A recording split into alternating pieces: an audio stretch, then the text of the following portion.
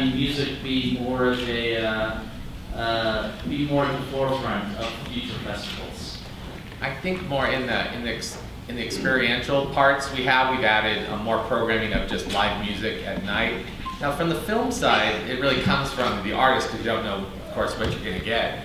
But um, we just found that this tends to be a real trend happening of talking about music and and film sort of together. That impulse of creativity seems to be very similar between musicians and independent filmmakers in particular. So I think it's sort of this uh, natural um, sort of occurrence that's happening. It, it's fun. It's, I really love these films that we're showing because yeah. they really do let you into. It's not just about a, a bunch of uh, great musicians talking about music. It's really talking about their creative impulses, which is so tied to what we all do, you know, in film. Yeah, and they, they asked, we were invited, and that's how this started.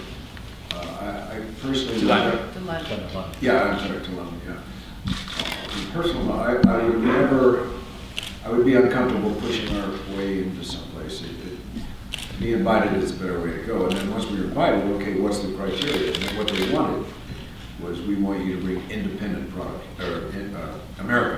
product here. And of course, music was part of it.